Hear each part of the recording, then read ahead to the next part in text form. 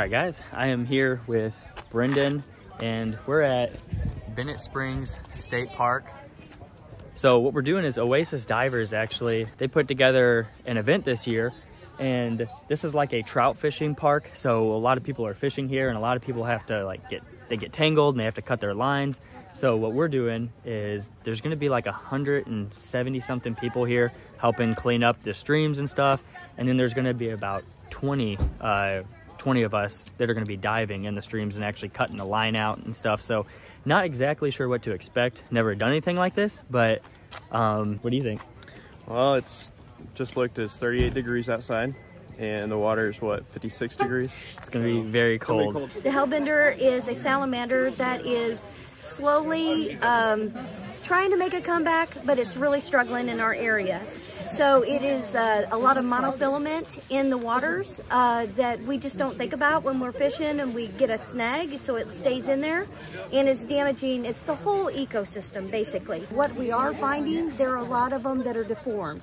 And so hmm. we're really trying to get this habitat cleaned out for them so they have a safe environment. Just some thoughts for, for everybody coming out of that uh, spring this morning, I checked, is 100 million gallons of water a day. Wow. Yeah. We just pulled up at zone two. That's where we're gonna be diving.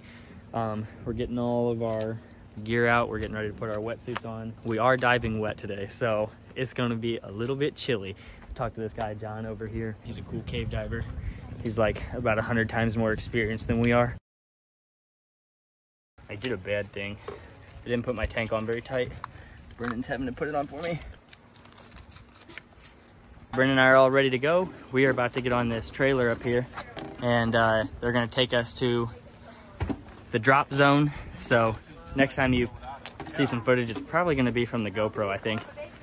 All right, you ready, Brendan? Uh, ready as I've ever be. Let's do it.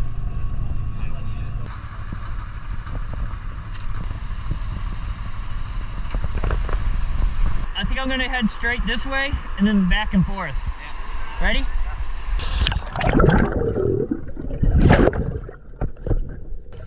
And here we are, finally underwater.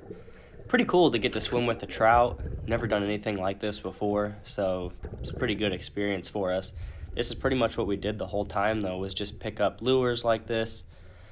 And uh, I didn't put every video in of us picking up stuff, but it was good. The water clarity was good. Brendan ended up being a little light on weight, so I gave him some of mine. Dude, I'm not cold at all. Definitely going to my skinnier gloves. My hands are not bothering me whatsoever. My hands will. My hands are like girl hands. A lot of this line would just get tangled up all in a big ball. You can see somebody lost like their whole carabiner set up there or something. But yeah, just cut everything away. Man, those hooks would get caught so bad in the gloves. You just get all tangled up. That's why you dive with a knife to save your life. Told that fish better back up. Back to work though. No, it was a good time though. We had a really good we had a really good time doing this. It was something different. Brendan and I haven't done this in the past, and I think we'll probably go back and do it again next year. Just a fun, different dive. But we pretty much all the trash that we collected, we pushed them in their coffee cans like that, and then at the end, we gave them gave them back.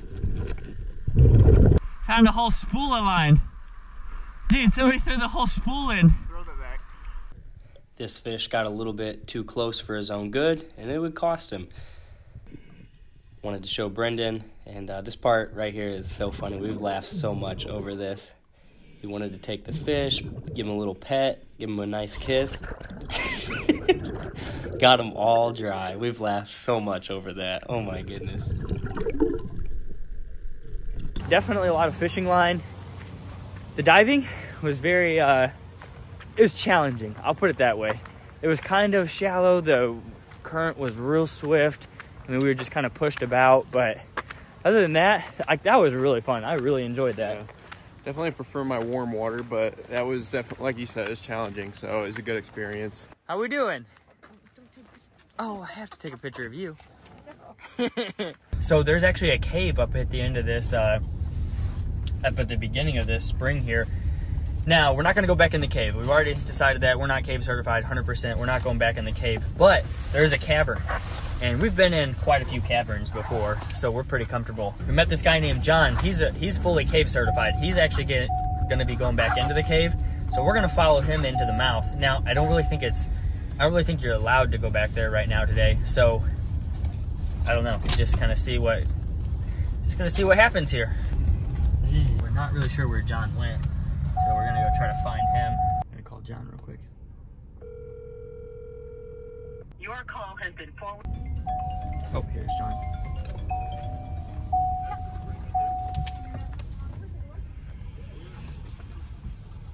He cared. He did care. he called me back. All right, so they uh, they found out we were getting ready to go in. We'll see what happens. I'm just saying it's it's all underneath our insurance though, so this is our like what we got. So Yeah, we can. So are you guys getting in the spring head? Okay. Do you have a safety diver for the surface? yes, Okay. Did you sign off on the dive policy for the park? yes. Okay. Yep, we've got her all covered. We know. Wasn't too sure that that was going to happen there for a second, but I guess we're all approved. Um, so we're going to get suited up and let's do it. So this is at the head of Bennett Springs. Now we're in the water. Our dive plan is that I would go first. You can see Brendan kind of wave me forward. Um, two things real quick. This is just a cavern dive. This is not a cave dive. Uh, I just want to be really, really clear about that. And second thing is, is man, I I kind of shine my light in a lot of people's face. So that was really just inexperienced of me. And you'll see, I'll point it out a couple other times. Well, there's one of them right there. Checking on Brendan, make sure he's okay. So John was at the front, and I was following his buddy, and we kind of get split up. Uh, I tried to go around the outside there, kind of pushed me back, so I had to go back by Brendan. Right before it pushed me, uh, the guy that was in front of me, um, it, it just pushed him all the way back out. So at this point, right now, he's actually out at the mouth again. Um, I mean, he was just kind of gone. Once you get in that current, it just so, so strong. I had to drop the GoPro and actually kind of go upside down to get under that. Now I'm trying to explain to John that his buddy, his partner, got caught in the current and pushed out. So that was kind of a bummer. We basically split, not split, but we went back out, made sure that he was okay, and then here we are going back in for the second time. The goal is once you get back in there to grab onto a ratchet strap and just ride the current. That's kind of the back of the cavern. I won't talk the whole time. I'll kind of let some of this play because this is the entire video. Uh, I didn't really cut too much out of this, just so you guys can see what what it's like in the cavern zone here at Bennett.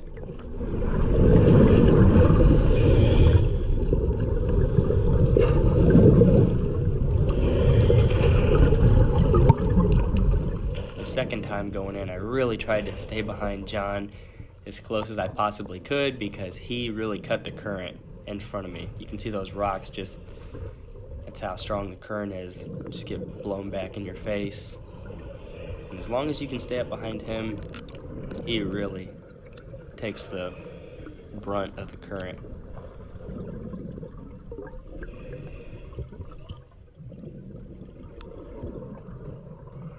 Believe they call this the first low ceiling right here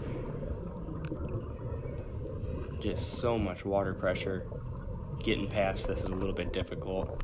Again, I have to drop the GoPro to get underneath of that. Kind of have to almost turn upside down to get underneath of that, or at least I did.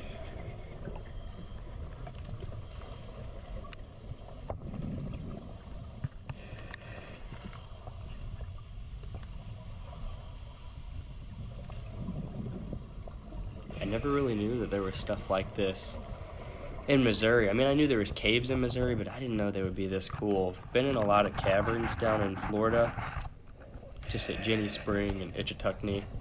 Uh, did not know that there was stuff like this in Missouri, so really, really cool to experience. I think we're at 66 feet there. I think all the way at the back we'd be at like 80 something. Like 84, 85 feet.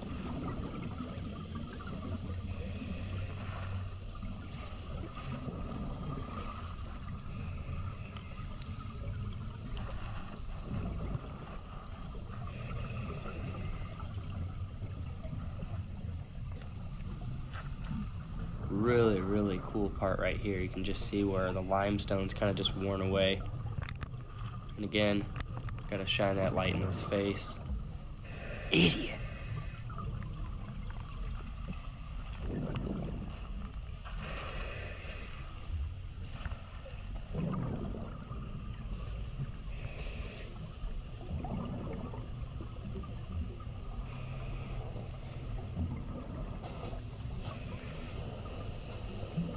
This was kind of another area where you, the current below you was just going so fast that you couldn't really go under that, so you had to go out and around it. Um, but again, had to drop the GoPro to do that. So here's the ratchet strap. Grab onto that, all the current, all the water, 100 something million gallons of water coming out a day is going right underneath of you, right there. And you just grab onto that thing and you are holding on for your life basically. Get a little selfie shot. Check out the black rope, and then I let go. I'm gone. This is the popcorn room. This is so cool. All these rocks are always kind of just being blown up off the bottom and suspended. You know what? It feels like kind of like just in the air, you know, just in the water. Um, so now we're just floating back out. Shine Brendan in the face one more time. How about that? Says it's pretty good. And that's it. We're out. Connect back up with John. And what a dive. What a dive. So cool. It's not over though. Gotta shine John in the face just one more time.